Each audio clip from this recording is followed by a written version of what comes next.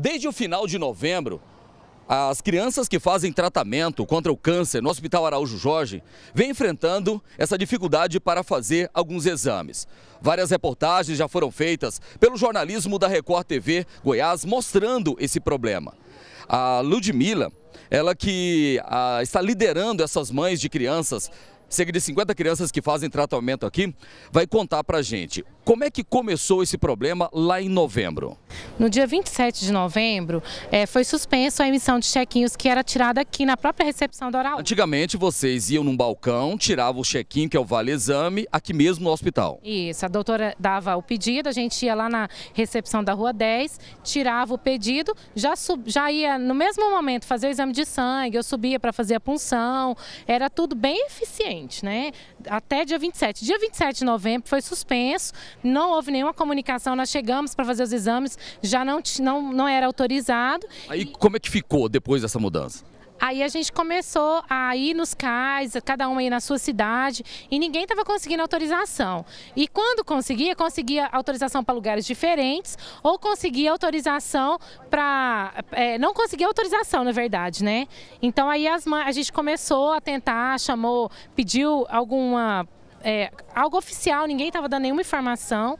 E aí a gente ficou sem exame, sem chequinho, pagando do próprio bolso, todas as coisas. Tanto é que a situação se agravou a certo ponto que essas 50 crianças estão sem fazer que tipo de exames? Elas estão sem fazer a punção lombar, né? É um procedimento que a médica leva elas para uma sala, anestesia, tira o líquido da medula, injeta uma quimioterapia para ela, né? Isso tudo sedada, para saber como que está a leucemia, se a leucemia zerou, se a leucemia ainda tem algum resquício no sangue, como que está, qual qual o nível de quimioterapia que ela vai fazer, tudo diante desse exame. E os exames de sangue, a gente está pagando do bolso. Cada mãe está tentando se virar. Não conseguia autorização pela prefeitura. Não consegue autorização, não conseguia autorização e quando conseguia, não era para a data certa, porque nós temos uma data. Toda semana, por exemplo, meu filho tem consulta toda terça ou toda quinta, então toda terça de manhã ele tem que vir com consulta ou do, do exame ou do dia anterior ou do próprio dia, entendeu? Ele tem que vir com o exame recente, de um dia antes ou do próprio dia. E como a prefeitura só liberava para outro dia, as prefeituras do interior também só liberam uma vez por mês, a gente estava pagando o nosso próprio bolso. E o desespero dessas mães foi tanto é, que elas criaram até um vídeo que foi divulgado na internet, onde as, as crianças aparecem aí segurando cartazes. Né? Vamos acompanhar esse vídeo que foi divulgado né, pela Ludmilla e as demais mães nas redes sociais. Que a mais doce estrela seja tua guia, como mãe singela te orientar. Diante dessa polêmica toda, é, nós fizemos um compromisso no estúdio do Balanço Geral. A Ana Lúcia, que é representante aqui da Secretaria, é, Ana Lúcia Leão, que é assessora técnica da Secretaria Municipal de Saúde de Goiânia, aceitou o nosso desafio. Nós viemos aqui ao Hospital Araújo Jorge, que é referência no tratamento contra o câncer aqui no estado de Goiás, porque a nossa intenção é resolver o problema. A nossa intenção é fazer com que essas crianças retornem ao tratamento, elas continuem com esse tratamento aqui no hospital. Ana Lúcia, depois que vocês começaram aqui, eu tô vendo que vocês conversando aí com funcionários aqui do hospital, por que que gerou esse problema que resultou nessa campanha? Nós não produzimos esse serviço, nós compramos esse serviço. E o que, que acontece? O Araújo Jorge, ele coloca todos os exames que ele tem interesse, que ele tem capacidade, condição de fazer, os pacientes necessitam, eles colocam no sistema, eles fornecem essa... Explica pra gente, você está com a lista de exames aqui, né? É, o hospital fala, é, nós fazemos esses exames aqui... Isso. O hospital oferece uma lista de exames e uma quantidade de exames por dia e por período. E a secretaria, através das suas diversas unidades, realiza o agendamento a partir do momento que o hospital coloca, eh, disponibiliza essa quantidade de exames para a secretaria agendar.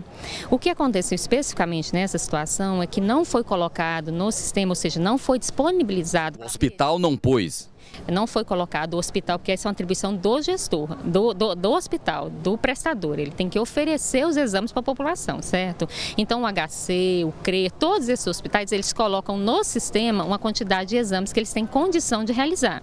E a partir desse exame estar cadastrado no sistema, qualquer unidade de saúde, o paciente que chegar com pedido daquela instituição, ele pode realizar o agendamento, seja da cidade de Goiânia, seja do interior. Então, todos os exames cadastrados pelo Jorge, como todos esses aqui, ó, hemograma, dosagem, todos eles foram cadastrados pelo próprio Araújo Jorge no sistema. Portanto, os pacientes quando chegam em qualquer unidade de saúde com um pedido para todos esses exames, eles têm condição de realizar os exames porque eles estão cadastrados pelo hospital dentro do sistema. Você diria então que a, o problema foi que o hospital não não colocou esses exames que essas crianças precisam e daí não conseguir emitir a autorização? É, isso mesmo. O hospital ele deveria ter colocado, deveria ter cadastrado a quantidade de exames e dito, por exemplo, aqui, o exame vai realizado em tal dia, tal dia, em tal turno e tantas crianças podem ser agendadas nesse período. Feito esse cadastramento, a mãe com um pedido poderia ter chegado em qualquer unidade e realizado o cadastramento. Portanto, quando a gente ficou viu o vídeo, se sensibilizou né, com o problema da criança, a gente esteve aqui nós tivemos ontem aqui cedinho, era 7h15 da manhã, conversando com a equipe para tentar entender por que, que aquilo estava acontecendo. Porque até então a gente não imaginava que a situação teria chegado a um nível desse, porque nós é, não tínhamos a informação de que essas crianças estavam dependendo desse exame e que esse exame não estava sendo realizado. Então, quando a criança aparece com a plaquinha lá dizendo, por favor, não me deixe morrer, libere o meu exame, é, isso nos sensibilizou. Enquanto secretaria, a gente veio tomar uma providência, porque o Araújo Jorge é um prestador da secretaria. Repetindo a pergunta, a culpa então de não ter colocado esses exames, de não conseguir esse exame, foi porque o hospital não colocou no sistema a gente não chama culpa, a gente fala que é responsabilidade do prestador inserir no sistema todos os exames que ele precisa. Mas como a gente sabe que o processo de transição de um sistema para o outro é um processo delicado, difícil, né? Porque a gente entende que o outro sistema perdurou por um longo período, o Araújo está nos informando que precisava de algumas informações, de algumas capacitações e treinamentos que, segundo que eles nos passaram, isso não foi realizado. Então nós vamos averiguar as dificuldades. A gente entende que sejam poucas, porque se eles conseguir cadastrar todos os outros, os exames não são diferentes, o cadastramento em si, entende? E, mas a gente vai averiguar com a nossa equipe se houve falha da secretaria, tanto na capacitação, no treinamento, para que eles realizassem essa inserção, nós vamos averiguar e vamos responsabilizar as pessoas que, por acaso, em qualquer etapa desse processo falharam. Nós estamos aqui é para resolver a situação. Por isso que nós viemos ontem aqui para dentro para ver. E é isso que eu quero também, por isso que eu fiz questão de vir aqui. Eu vou fazer o seguinte: a Ludmila representa as mães né, dessas crianças que estão com essa dificuldade, as crianças, inclusive, que aparecem nesse vídeo. E eu vou fazer o seguinte: eu vou pedir, você vai fazer a pergunta, a Ana vai te responder. Você vai fazer todo, tirar todas as dúvidas a partir de agora, porque o que a gente precisa sair daqui é que o problema é resolvido. E isso eu vou, vou comprar essa briga, comprei essa briga e você vai fazer a pergunta, a Ana vai responder. Tá. A primeira pergunta é: quando vocês informaram que ia mudar o sistema, vocês informaram que a gente sairia dos consultórios já com o exame agendado. Por que, que isso não está acontecendo? Acontecendo? Se o software veio para fazer essa dinâmica melhorar, por que, que isso não está acontecendo? Uma das etapas da implantação do sistema é a do agendamento, que é necessário ser feito esse agendamento, que é a substituição de um modelo de sistema por outro. A próxima etapa do sistema que nós já estamos realizando é trocando os computadores de todos os, de todos os ambulatórios médicos que a gente tem dentro da prefeitura. Que como é que é para funcionar, Loares? Eu sou paciente, você é meu médico. Eu sentei para ser atendido lá mesmo você, enquanto médico, você já pergunta, você está precisando, por exemplo, de uma ultrassonografia, você vai selecionar a ultrassonografia e você vai perguntar para o paciente, olha, eu tenho vários lugares para realizar a ultrassonografia, qual desses que a senhora prefere? Ela vai dizer o local que ela prefere, o dia e a hora que ela vai realizar esse exame. Então, a proposta do novo sistema é que o próprio profissional é, solicite a consulta especializada, ele percebeu que o paciente precisa de uma avaliação de um oncologista, de um cardiologista, lá mesmo ele já vai selecionar a especialidade e o paciente vai sair de lá sabendo o dia e a hora que ele vai ser consultado pelo especialista. Das crianças que são do interior e de outros estados, como que fica? Quando o pedido é do Araújo Jorge, a primeira opção de agendamento é para o Araújo Jorge daquele exame. Só vai para uma outra instituição caso o Araújo Jorge não disponibilize de vaga. Para não haver prejuízo para a criança ou para o paciente, a gente disponibiliza essa segunda opção, né? Então, naquele momento que está sendo realizado o agendamento, é, que pode ser realizado aqui em Goiânia como no interior, porque todos os municípios contratualizados com Goiânia têm o acesso ao sistema para fazer o agendamento lá no interior também. Várias mães aqui são do interior são até de outros estados. A informação que a gente tem é que elas teriam que voltar na sua cidade, sendo que muitas não podem ir na cidade. Né? Vamos pegar um exemplo. Tem alguém aqui com essa situação? Chega aqui, por gentileza. É, você é de onde? Sou de Campinas Sul. Agora, você já estava regulada, tinha uh, uh, encaminhamento aqui para o Araújo Jorge? Sim. Já estava fazendo o tratamento? É, minha filha está fazendo tratamento aqui há cinco meses. E o que, que aconteceu? Ela teve funções atrasadas, até hoje eu pago os exames dela, porque não tem como retirar o chequinho. Na minha cidade, Campinas não tem como é, tirar o chequinho lá, né? É impossível. né? O prefeito de lá que está pagando particular, porque não tem como, não, é impossível, não tem como. Nesse caso da Milena, ela já está regulada, está aqui em Goiânia fazendo tratamento. De que forma que ela pode fazer aqui mesmo no hospital, sem ter que ir lá em Campinasul? Bom, como a gente orientou, os, os, municípios que, tem, que são contractualizados com Goiânia, eles, uma vez o paciente sendo regulado, qualquer exame deles pode ser agendado em qualquer uma das nossas unidades. Né? Mas ela está aqui em Goiânia, ela pode tirar esse, eh, cheque, esse chequinho ou autorização aqui mesmo em Goiânia? Pode, o agendamento ele pode ser realizado aqui em Goiânia. E é de outro estado? Ah, e, por exemplo, crianças de outros estados? Aí a gente tem que ver situações específicas. Por quê? Porque a gente depende de uma contractualização com o município. Se for regulado, por exemplo, é de outro estado, mas já tem um encaminhamento, já está regulado, já está internado aqui. Essa informação eu não tenho como te dar ela com segurança. Eu vou ter que verificar junto a regulação para responder. Então essa informação eu fico pendente. Do estado de Goiás eu tenho certeza que ela pode fazer o agendamento aqui em qualquer unidade. Então no caso aqui, é... no caso dela então, ela a partir de agora, ela pode fazer o quê? Sem ter que ir lá em Campinasul para buscar esse, essa autorização? Com o pedido de exame, ela pode ir em qualquer uma das nossas unidades de saúde realizar o agendamento dos exames dele a partir de agora, a punção para a filha dela, com o pedido aqui do médico do hospital, ela vai poder em qualquer o cais mais próximo aqui e tirar essa autorização aqui para o Araújo Jorge. Isso mesmo, ela pode realizar o agendamento para o Araújo Jorge. A gente tem que fazer o teste para ver se vai funcionar, né, realmente né? Porque outras mães já fez, já tirou, aí saiu punção para o lugar, é, cotação de líquido para outro, então, tipo assim, foi um procedimento para cada unidade, né?